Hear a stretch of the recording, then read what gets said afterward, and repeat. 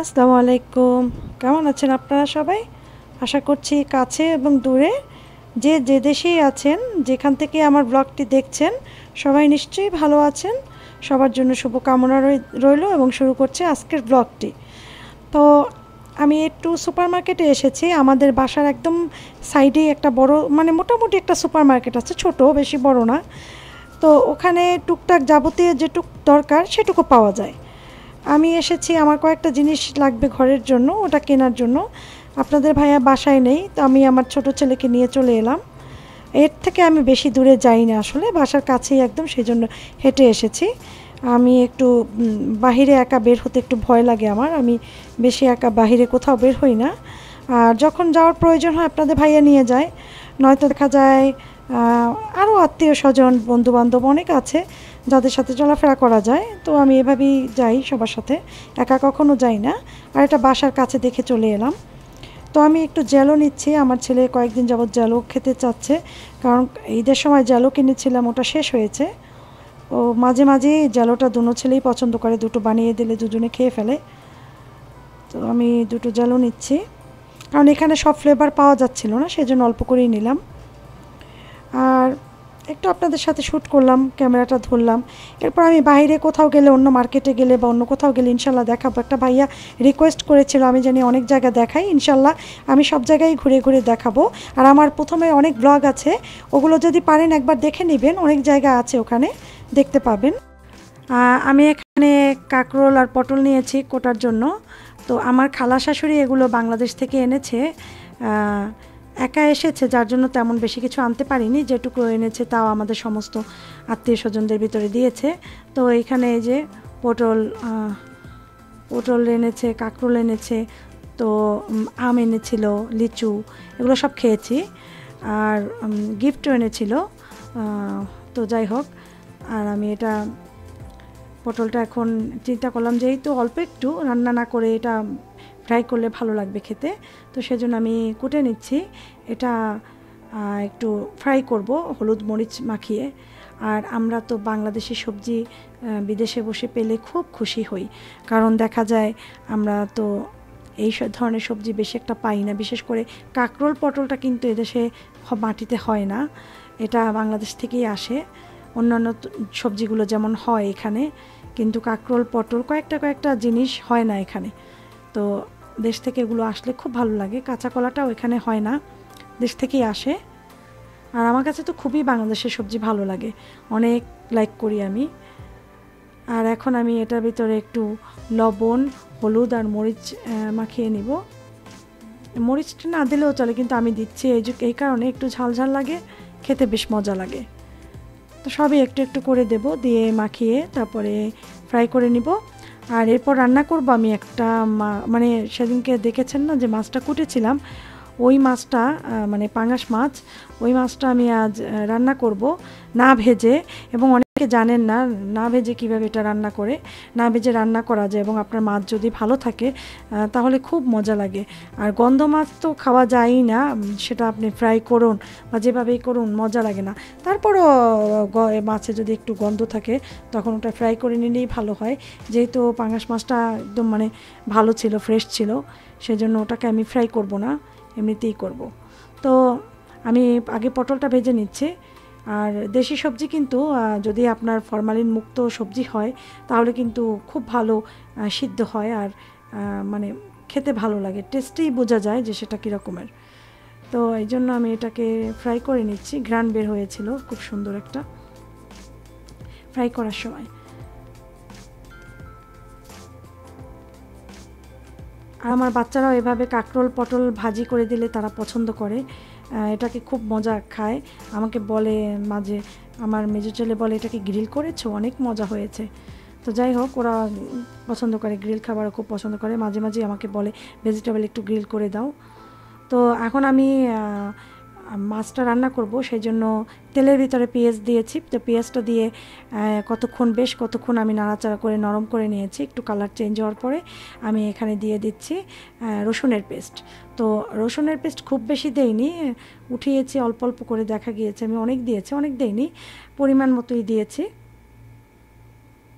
এখন আমি দিয়ে দিচ্ছি ধনিয়ার গুঁড়ো, আর দেব জিরার গুঁড়ো, আর দেব হলুদ মরিচের গুঁড়ো। তো হলুদের গুঁড়ো দিয়ে দিচ্ছি, আর এখন দেবো মরিচের গুঁড়ো।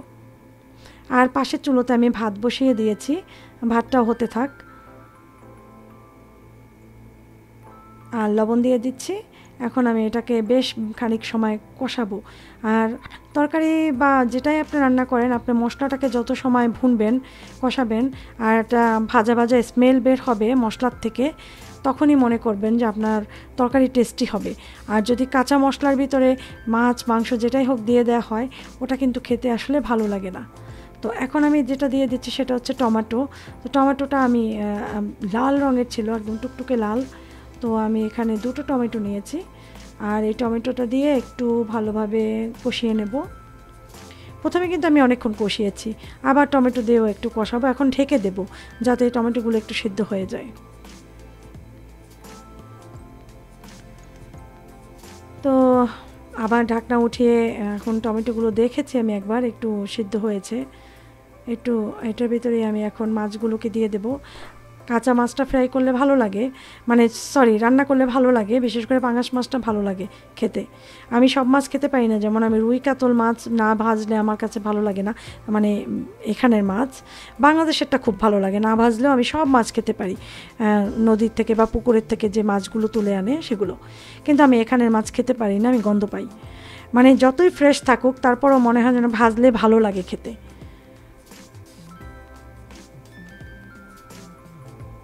তো আমি মাছগুলো বসিয়ে দিয়েছি, এখন আমি উল্টিয়ে পাল্টিয়ে দেবো একটু পর পরে। আর আলতো হাতে উল্টাতে হবে, যেহেতু মাছ মাছ অতিরিক্ত জোরে নাড়াচাড়া করলে আবার ভেঙে যাওয়ার চান্স থাকে। তবে পাঙাশ মাছটা কিন্তু প্রথম অবস্থাতে একটু শক্তই থাকে, ভেঙে যায় না। কিন্তু অনেকক্ষণ রান্না করলে আবার নরম হয়ে যায়। সেদিকটা মাথায় রেখেই করতে হয়। আর আমার বাচ্চারা কিন্তু পাঙাশ মাছটা একটু খায়, পছন্দ করে। তাও ওই একদিন মানে আপনি যদি পরপর দিতে, দিয়ে দেন মানে এই বেলা খেলেও যদি উপালা দিতে যান, তাহলে তারা খাবে না। একবারের বেশি খাবে না। তো চিন্তা করলাম আজ ওদের এটা দিয়েই খাওয়াবো। এই জন্য আজ আর অন্য কিছু রান্না করিনি। কারণ সেদিন মাছ রান্না করেছিলাম। আমার বাচ্চারা সেদিনকে মাছটা খায়নি। কারণ চিকেন রান্না ছিল, ওরা চিকেন দিয়েই খেয়েছে। তো আমি কাঁচামরিচ দিয়েছি দুটো কাঁচামরিচ দিয়েছি, মরিচ দুটো অনেক ঝাল ছিল, তাই বেশি দেয়নি যেহেতু বাচ্চারাও একটু খাবে। আর মাছে কিন্তু ঝাল না দিলে টেস্ট হয় না, সেজন্য ঝাল দিয়েছি, একজন যে দেয়নি তা না, বেশ ঝালই দিয়েছি। চিন্তা করলাম বাচ্চারা না খেতে চাইলে উপর থেকে শুধু মাছটা উঠিয়ে দেবো, ঝোলটা দেবো না। যেহেতু ডাল রান্না আছে আমার, আর ভেজিটেবল মানে যে কাঁকরোল পটল ভাজি করেছি, এ দিয়ে বাচ্চারা খেয়ে ফেলবে।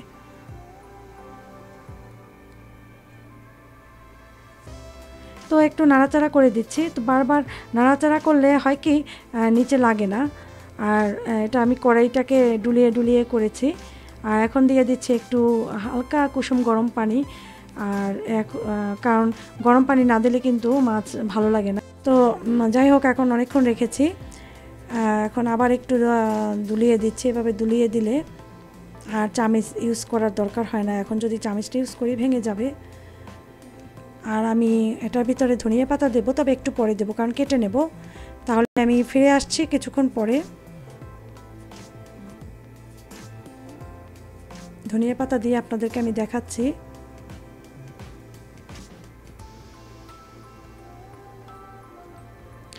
আসলে আমি ধনিয়া পাতা দিয়ে দেখাতে পারিনি, কারণ তখন চার্জ শেষ হয়েছিল, সেজন্য আমি ভিডিও করতে পারিনি। আর এখন বাজে সাড়ে পাঁচটা, আমার ছেলে একটু গেম খেলছে সে, কারণ যেহেতু স্কুল বন্ধ, এই টাইমে একটু খেলাধুলা করে। তো যেই কাজ, কাছে আমি এনেছি, ক্যামেরাটা সে খুব মাইন্ড করেছে। সে খুবই মাইন্ড করেছে। সে কান্না করে দিয়ে মানে দিচ্ছিল। আমি বললাম, না, কান্না করে না। কারণ কারণ বলে যে, না, তুমি এভাবে দেখাও। অনেকে মনে করে আমি সারাদিন মনে হয় গেম খেলি। তো আমি বললাম, না, কেউ এরকম মনে করে না। সব বাচ্চারাই গেম খেলে, একটু সময়, কিচ্ছু হয় না তাতে। তো আমার ছেলে মাসাল্লাহ আল্লাহর রহমতে সে পাঁচ বক্ত নামাজও পড়ে। আপনারা আমার ছেলেটার জন্য, আমার তিনও ছেলের জন্য দোয়া করবেন।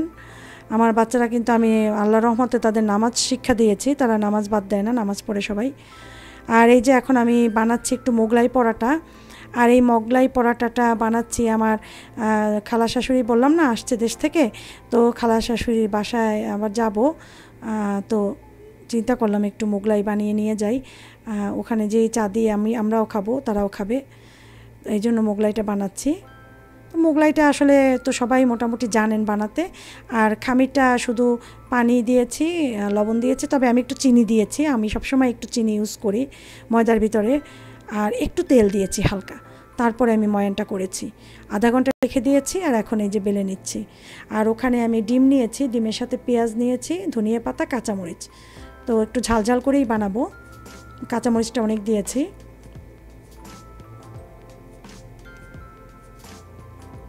ভালো লাগে। মোগলাই পরোটা সন্ধ্যার সময় চায়ের সাথে খুব ভালো লাগে। তো মাগরিবের সময় আমার মামা শাশুড়ি এসে নিয়ে যাবে। কারণ আপনাদের ভাইয়া বাসায় নেই, সে বাইরে গেছে। তো তার আসতে দেরি হবে। সেজন্য মামা এসে নিয়ে যাবে। এই জন্য মাগরিবের নামাজ পড়েই আমার রেডি হয়ে থাকতে হবে। সেজন্য আমি তাড়াহুড়া করে আগে মোগলাইটা বানিয়ে নিচ্ছি।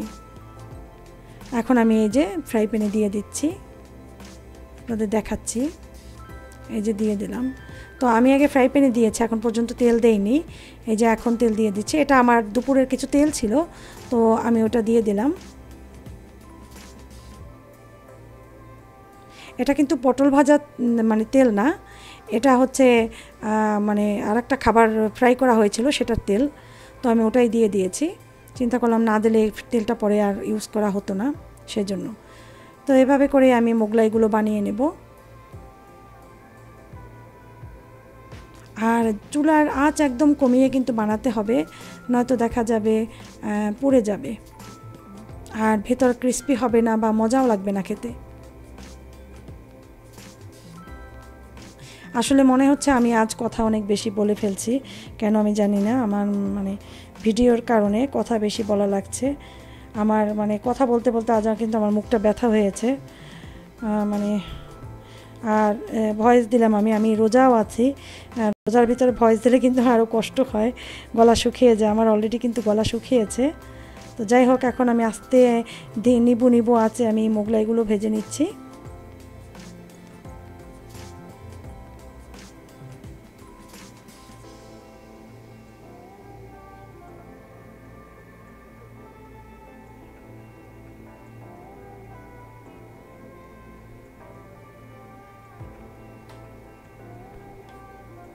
আমি আর একটা দেখিয়ে দিচ্ছি মানে যারা একদম নতুন রাঁধুনি রাঁধতে মানে ভালো পারে না বা বানাতে পারে না, নতুন সংসার শুরু করেছে বা স্কুল মানে কলেজ ভার্সিটির স্টুডেন্ট বাইরে থাকে, তাদের জন্য সুবিধা হবে যদি তারা ভিডিও দেখে থাকে তাহলে। তো এই জন্য আরেকটু দেখিয়ে দিচ্ছি যারা জানেন না তাদের জন্য। আর যারা জানেন তারা আবার মনে কিছু নেন না। আসলে আমরা ভিডিওগুলো বানাই যারা মজা পেয়ে দেখেন তাদের জন্য এবং যারা জানেন না তাদের জন্য। তো যাই হোক, এখন আমি একটু পানি দিয়ে এই কারণে নিচ্ছি, তাহলে ভালো লেগে যায় সেই জন্য তো আমি এটাও দিয়ে দিচ্ছি। তো এভাবে করে আমি সবগুলোই বানিয়ে নেব মোগলাই।